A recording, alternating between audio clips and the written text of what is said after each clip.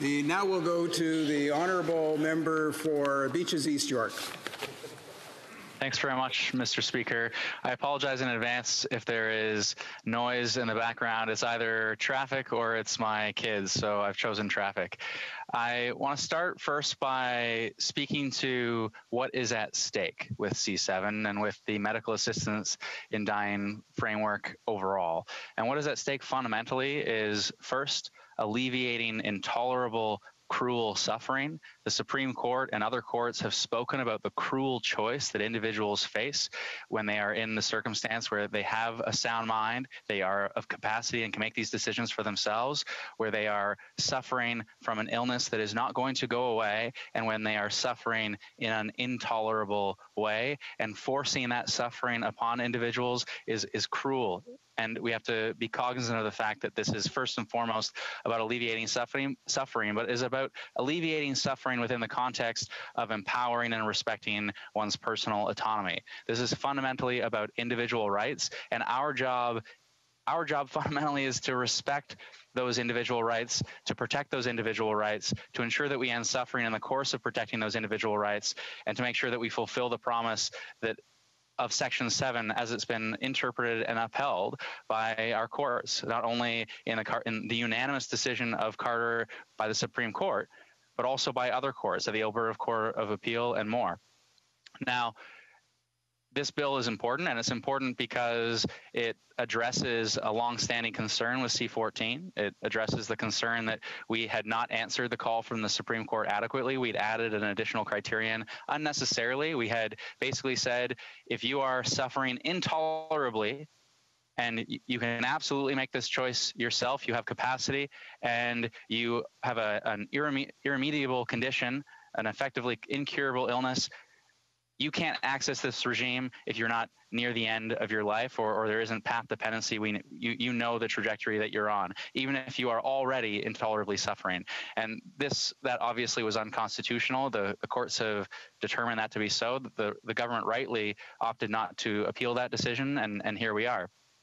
Now, importantly, we've actually gone beyond what the court has mandated in pursuit of individual rights and respect for our charter. And we've said, in the case of Audrey Parker, a woman who chose to end her life earlier than she had wanted to. She wanted to get through the holiday season, but she also didn't want to lose capacity and then lose the option. She didn't want to lose the ability to end her life and, and to end her suffering. She didn't want to lose the possibility of death with dignity. So she chose to end her life before she wanted to. And Thankfully, we've actually gone above and beyond what the court has mandated us to do, and we have provided one form of, of advance request to ensure that individuals, like in Audrey's case, don't end their life before they, they, they would like to. So this bill on those two fronts is positive. Now there are some challenges, and and and it's not going to stop me from supporting this legislation at second reading, Mr. Speaker, but it does give one pause, and I think we as parliamentarians ought to be very careful about adding additional adding additional exclusions to accessing the MAID regime.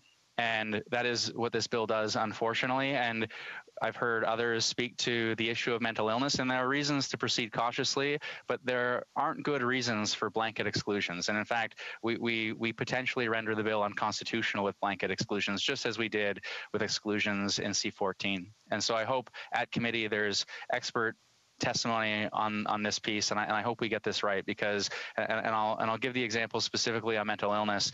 There is, Mr. Speaker, in 2016, there was a case at the Alberta Court of Appeal, a woman identified as EF, and she was she had capacity, she was suffering intolerably, it was irremediable. She had consulted with her family, and she had made the decision to end her life and she was able to do so, thankfully, because of the Alberta Court of Appeal applying the decision in Carter by the Supreme Court.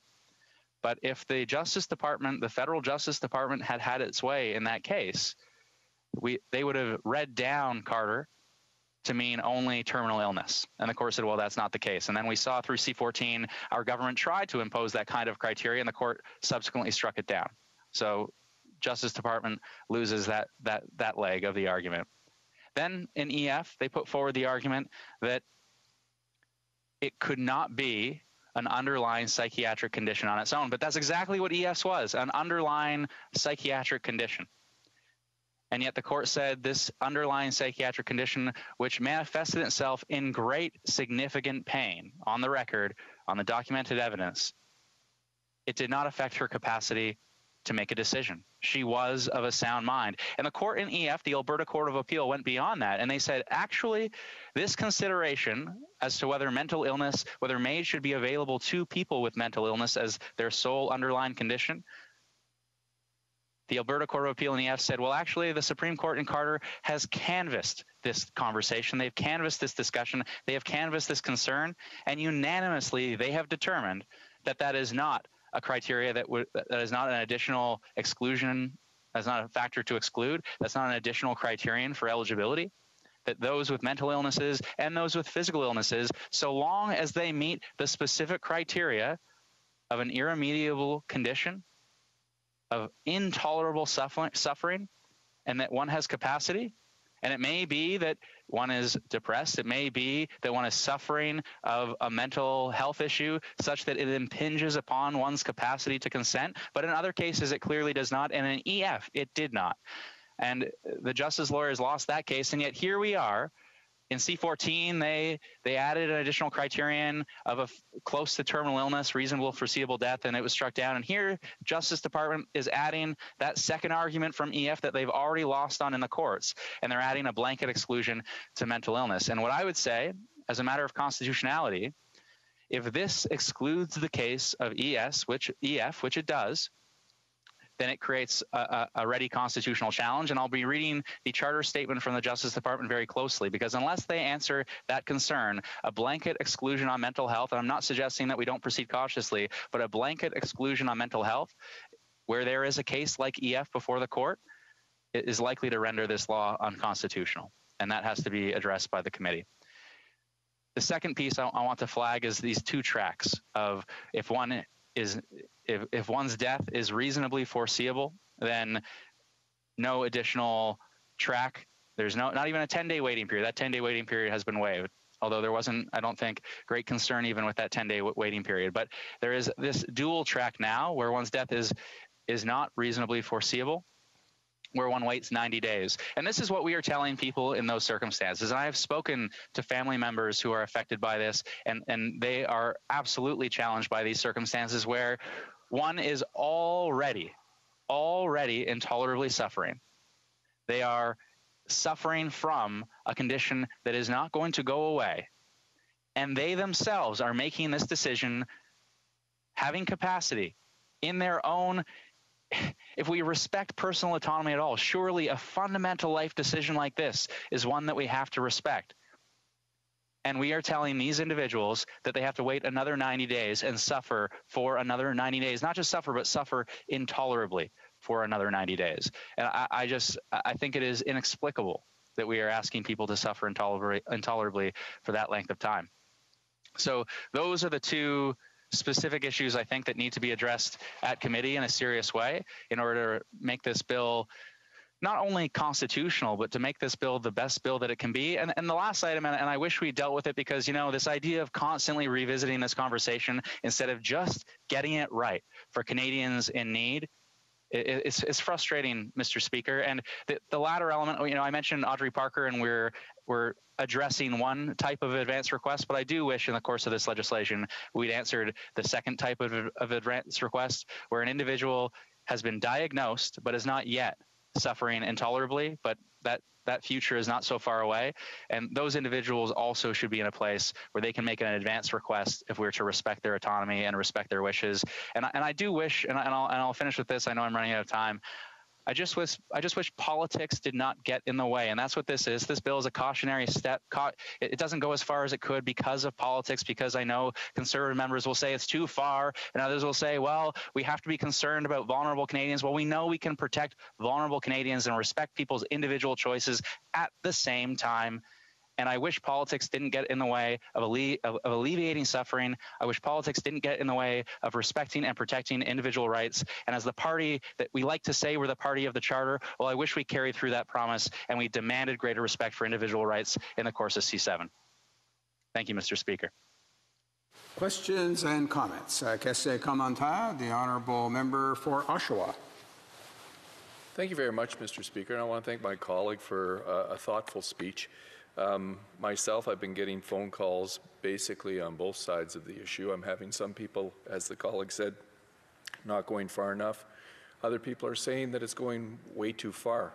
Um, I'd like to talk about one of my constituents, Carol, who had a very respectful conversation with me. Um, totally respects the rights of uh, physicians who don't want to participate or people who don't want um, assistance uh, to uh, death. However, she has some concerns about advanced directives, and I think my colleague did touch on this. And I was wondering, his comment at the end was very important. He says it's important that we get it right. Um, as far as these advanced directives, does he actually think that this piece of legislation in front of us today actually addresses that? And does he feel that it's still supportable? Thank you very much, Mr. Speaker. Member for Beaches East York.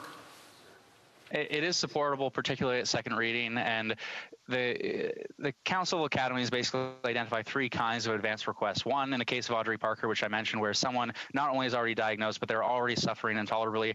That bill, this bill, does address that issue, and, and I'm glad that it does. The second issue, which I think is easy to address, and it's been recommended up and down by every expert who's looked at this, is where where one is already diagnosed, but not yet subject to intolerable suffering, we ought to provide an, an advance request for that as well. We could address it with sunset clauses if, if folks are concerned. And the third is where someone is not yet diagnosed. And I would argue that we could probably get there, but I think at a minimum, we should have addressed the, the, the, second advance request where someone has already been diagnosed but not yet intolerably suffering. That would have been a, a relatively straightforward one to address. And given the time period that we've had, especially in the course of COVID, uh, I, I wish we I, I, wish this had been better addressed in, in this bill as well. Is there any Questions and comments? The member for Abitibi-Témiscamingue. Thank you, Mr. Speaker. Well, first, I would like to uh, salute the ability to concentrate and his ability to balance his work and family life. And I also like to thank him for uh, his interventions, not only on the industry committee, but also on this issue.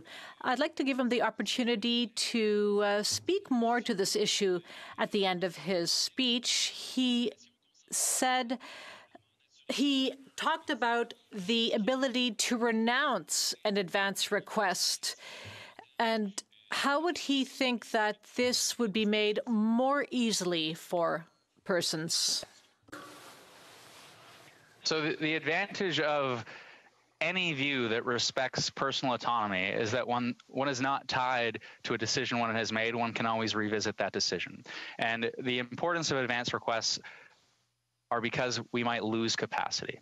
And so if one is intoler- intolerably suffering, in the case of Audrey Parker, but is so worried that she's not going to be able to make a, a, decision to end her life and to access death with dignity because she might lose capacity, then we of course need an advance request, and and that's exactly what this what this bill provides. But that second category, where an individual who is diagnosed and has not yet begun to suffer intolerably, where their wishes are clear, where you know, where they have made it very clear that this is what they want as a matter of personal autonomy. Uh, we, have to respect that as well. And of course, if we're to respect personal autonomy, one can always withdraw where one has capacity to do so.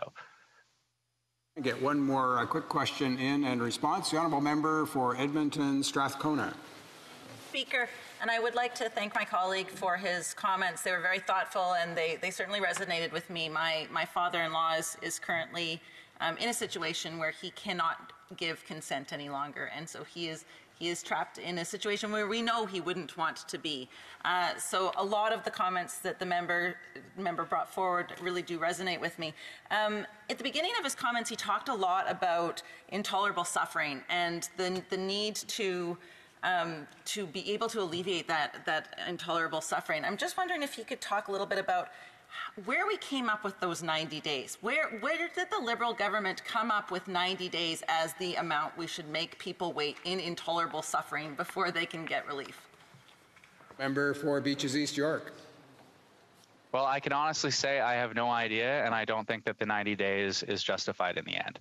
I do think this is an area, as I say, where the committee should examine this timeline and the committee should correct this timeline. So I hope when this comes back to us at third reading that we have avoided the blanket exclusion for mental illness and if need be we add a sunset clause to that provision to give the government more time if necessary but we avoid the blanket exclusion in indefinitely and two that we that we cure that 90 day period and we and we reduce it significantly because we, we, we can't possibly want Canadians who are still of a sound mind to suffer intolerably for such an extended period of time.